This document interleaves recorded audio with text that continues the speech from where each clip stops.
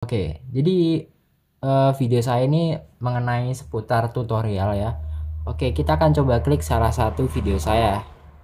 Mungkin adalah ini. Nah, jadi ini merupakan salah satu konten saya, yaitu adalah cara untuk mengatasi Motion tidak dapat diinstal. Ini merupakan salah satu konten saya tentang tutorial aplikasi editing. Jadi di sini saya, eee, bikin sebuah tips dan cara untuk mengatasi sesuatu dari permasalahan orang lain ya, terkait aplikasi ini. Nah, kemudian berapa penghasilan saya bikin video seperti ini.